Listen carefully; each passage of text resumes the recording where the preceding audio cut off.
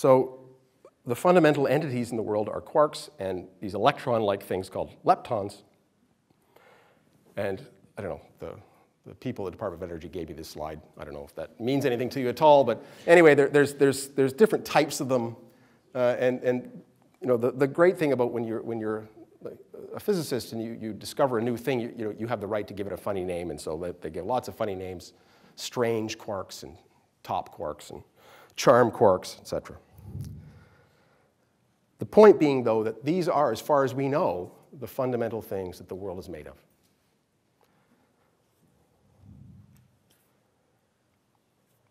So here's, here's how, how do we build a universe out of those things? Well, first we make nucleons, protons and neutrons, and they're made of quarks. So there's, there's my proton and my neutron. And I, I, I put them together to make a nucleus. And then I, I grab an electron, and it goes around, and I make myself an atom. And then I just multiply that by billions and billions and billions and billions, and I end up with, with, with that. Okay? So the point, the point is, is that, is that as far as our understanding is, that is what the universe is made of. Okay? And, and that comes from many, many years of experimentation, et cetera.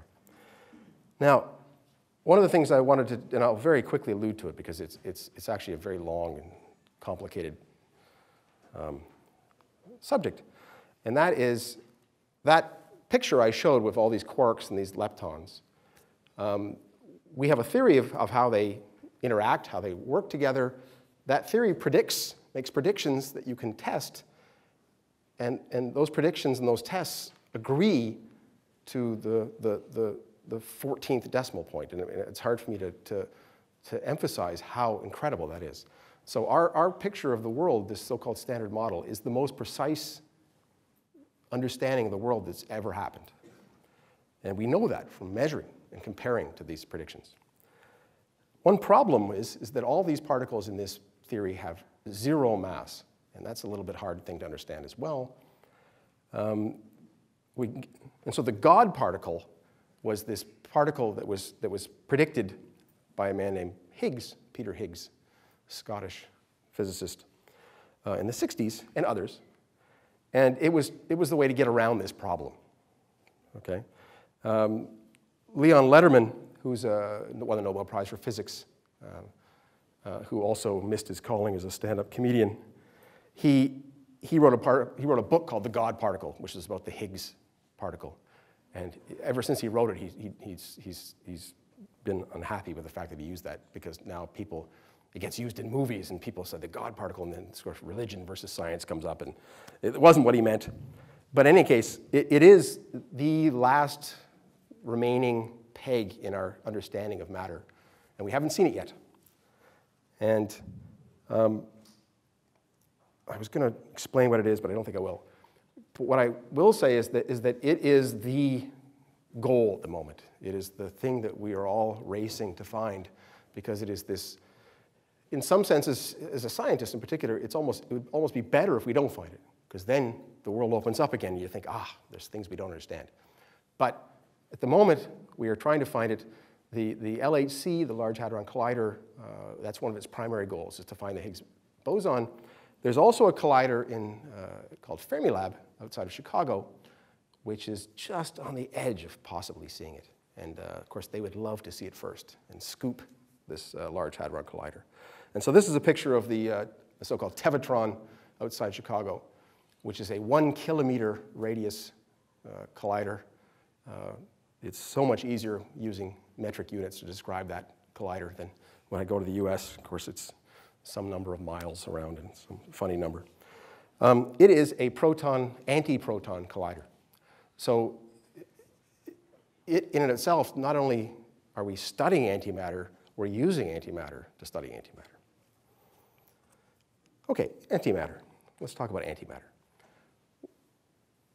It isn't fiction, although it's in a fiction book. We produce it all over the world. Enough of it, in fact, could destroy Rome. And the question is, what is it? So I want to approach it by, by again going back to E equals mc squared. There's an equal sign there. So it means that E is equal to m c squared. c is just, it's a speed of light, it's just a constant. So basically it's saying energy is equal to mass. That's what that equation says. And we see that all the time in our, in our science.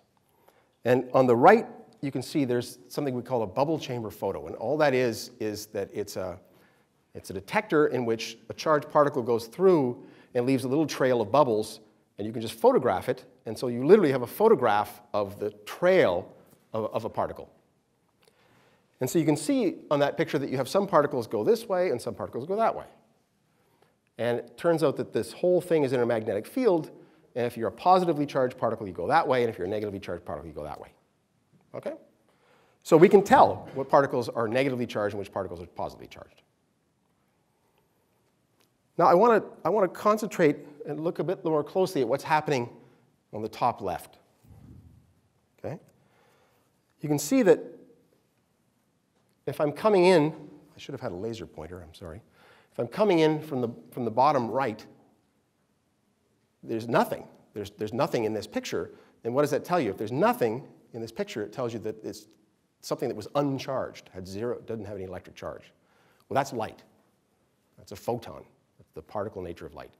So it's coming in, and it transforms into particle and an antiparticle. In this case, it transforms into an electron, which in this magnetic field curls down to the bottom, and a positron, anti-electron, which curls up to the top.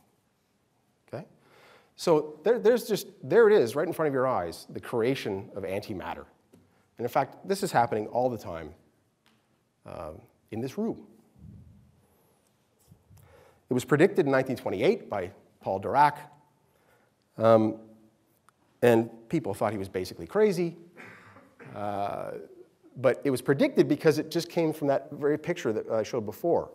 That in his theory, you have energy creates, you can't have a zero charge thing create all of a sudden an electron. You have to have a positive charge created as well.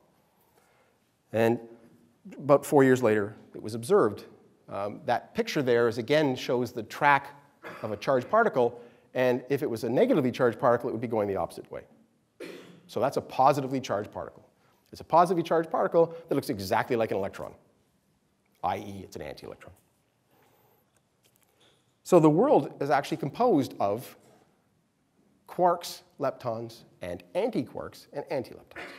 And that is our world, and, and the theory that we have that predicts it predicts it with extremely a precision that, that's unparalleled. So the question is then, can we, can we make antimatter? As I said, we, we saw it created in that picture. Um, as a matter of fact, it's, it's, it's, it's happening all the time. This is a, a Geiger counter, which, which measures charged particles going through. You know.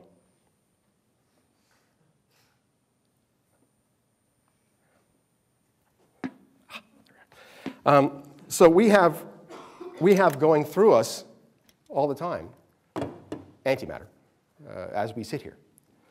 Um, because particles are, are streaming in from outer space, hitting the upper atmosphere, and in, in that same process, they create particles and antiparticles. They create positrons and electrons. They create protons, they create antiprotons.